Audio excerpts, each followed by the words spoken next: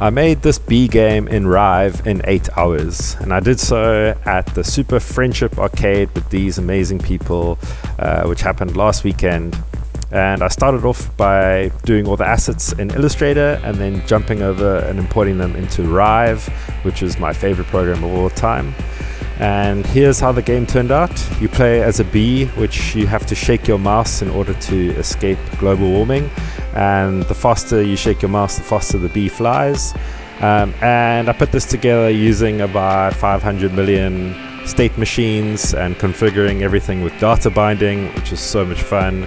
Um, and then we had some awesome play testers playing this and we got to show it off right at the end of the jam after eight hours, um, and everyone liked it, I think.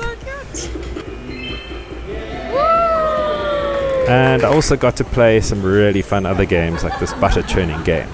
Bye!